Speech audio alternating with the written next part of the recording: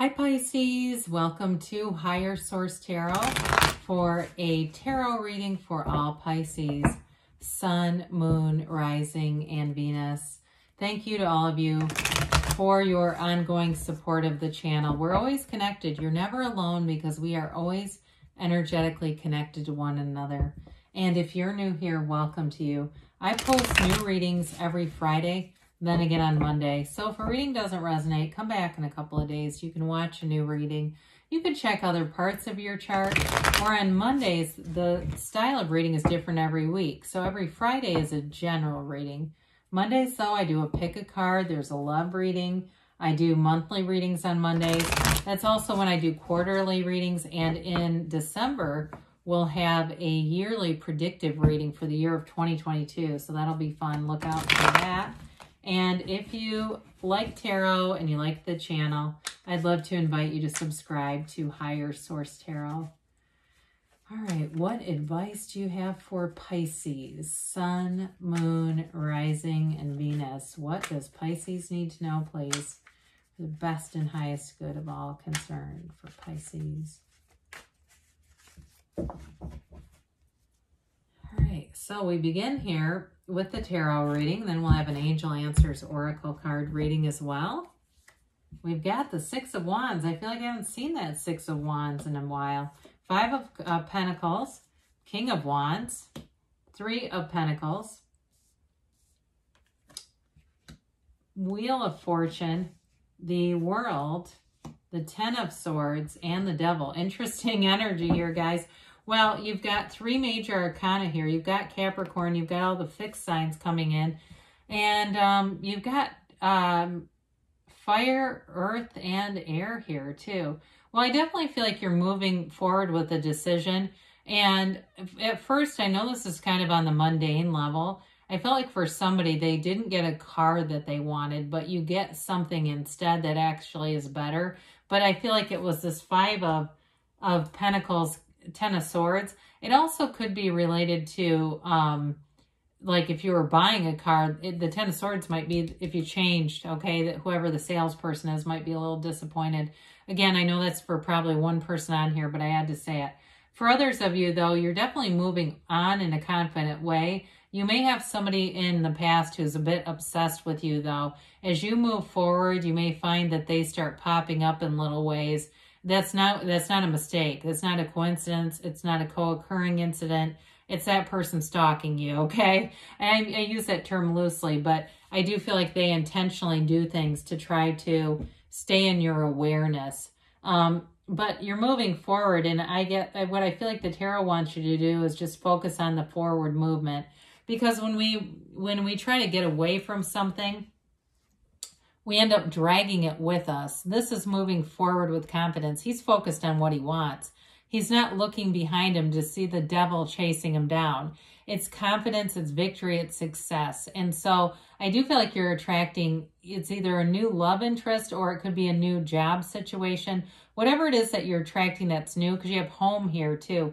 It feels primarily like relationship to me, but anyway, with this, it's it's harmonizing. It's finding that relationship that you've always wanted. It's beauty, it's harmony, it's love, and it's balance with the Six of Wands, but in a very confident way because it has that nice fiery energy that brings in enterprise and growth.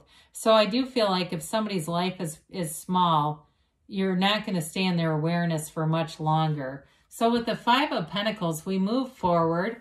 Um, I do feel like it's you moving on and you've got a companion here. So they are trying to tell you you haven't lost everything. It's really for your highest and best good. And you may be moving away from a larger group setting. It, it could be moving away from an area with the Three of Pentacles showing up and moving into a new area. It's planned out though. It feels like it's well planned out. And it, if it's a job too though, it may have been something you've been thinking about for a long time. Fives are activity and change, but this is also one that reminds us that you're moving towards, you're not leaving, okay? We're not leaving and dragging stuff with us. We're just moving toward. And it's also knock and the door will open. Ask and it is given. So don't forget that ask. And you can have a big ask. The universe can give you mortgage money just as easily as rent money. It's all available. It's just a matter of aligning your energy with it. So with the King of Wands here, very charismatic energy, empowered energy, taking charge.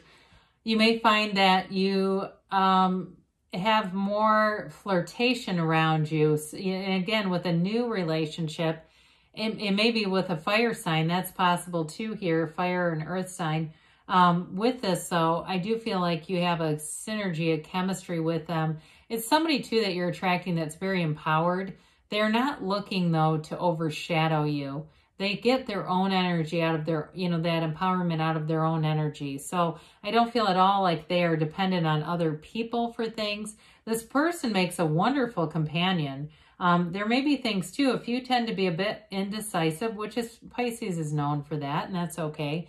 There may be something with this that really brings in a nice complementary energy. So if you're more on the easygoing side, and this person is a bit more direct, you may find that that works well. So with this King of Wands, though, it's a determined energy. You're taking action. You're moving forward, and nothing really will stop you in this. And so with the Three of Pentacles we talked about, this definitely can be related to the home. It's an architect, right? So it's all about making plans for the future, and it specifically can be about making house plans. Um, for others of you, though, it is gain. It can be in terms of if you've moved forward with work in some capacity, acknowledgement of that. It's awards, it's accolades, it's nice job, it's promotions, and it's more money. So we like that. Threes are all about multiplication, growth, and development. So there's an unfoldment here, but it's also being able to work well together. So I, like I said, whoever you've got, I do feel like you're attracting somebody that's a bit of an opposite, but it seems to work whatever this is, or if you're with them right now and you say, my God, are we opposites? But yeah, we don't know how this works, but it does. There's something very harmonious about this. So there's no competition here. That's what I like about it. It's not a competitive energy. It really is like you both have humility about the things you don't really want to be in charge of or the parts that you'd rather have a partner kind of take the leadership role on. So when we start to look at this, when we have things like the Wheel of Fortune, the World, and this three, or excuse me, six of wands, it's an energy really of wonderful gains, fruition, dreams coming true, unexpected opportunities, chances, money. I mean, it's not, it's really a nice energy. The Wheel of Fortune is a new cycle that turns in your favor. So if things were feeling a bit uncertain with that Five of Pentacles and even the Ten of Swords here, this is one where you feel confident, you feel empowered to move forward. And it's a, a card of fortune, right? Not not misfortune, fortunate events coming together. So your alignment, your energy alignment's really good here. You've got the you, you know the best timing, the best people show up, all the right key players are there.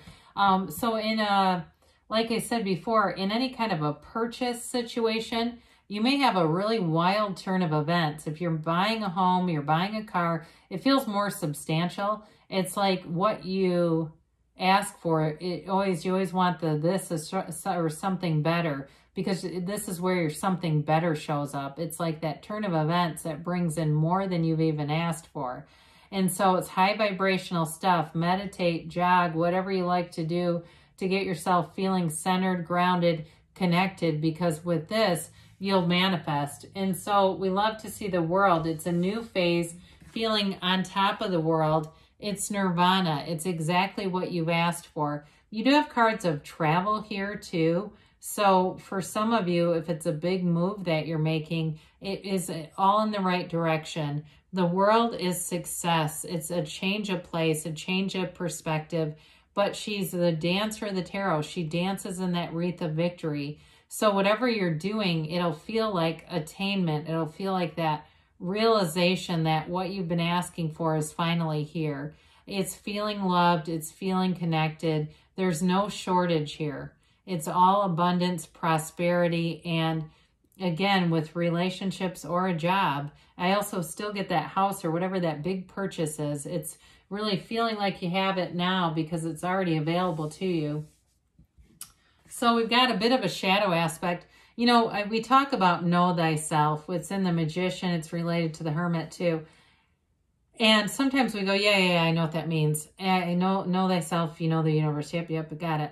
Okay, but with this, it's also about understanding our shadow aspects. And I think that's why that came out earlier about a partner where you kind of both know your vulnerabilities or what you don't like to do. There's nothing wrong with that. It's really about know thyself. It's uh, that keeps coming in. And so when we understand the shadow aspects or sort of the dust bunnies in the corner of the room, we know, you know, we know how to attract.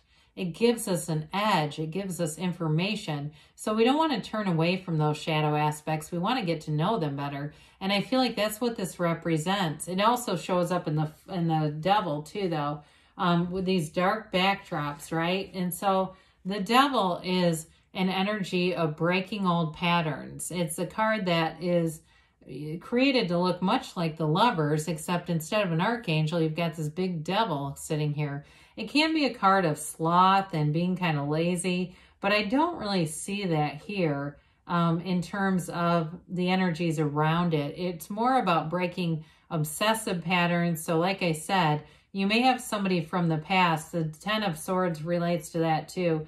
I kind of got away from that part of the reading because I started to talk too much about moving towards, right? And that's really what we want to do. But then I kind of got off of this other person, whoever this is. For some of you, you definitely have somebody who does not want to let go. They are, like I said, obsessed in the mind with you. They think about you. They're trying to manifest a return. I just don't see you doing it with them. Um, and so with this, it really is about letting go of limiting beliefs, knowing that you can have, do, or be anything so with the devil, when the um, fool meets the devil, that's the, you know, the fool's here to learn lessons.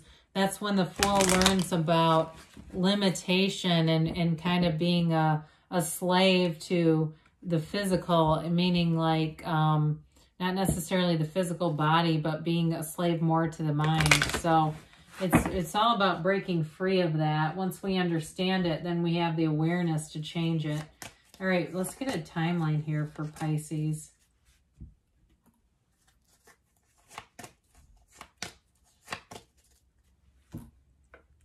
All right, you've got romance. I haven't seen this in ages. So whatever new relationship you're attracting, it really is beautiful. They say look for a sign. Those signs and synchronicities will show you the way. Listen to your intuition. You've got here, take action, all right? You're moving forward and you've got a yes. So good things are on the way for you, Pisces. I love you, and I'll be back again soon.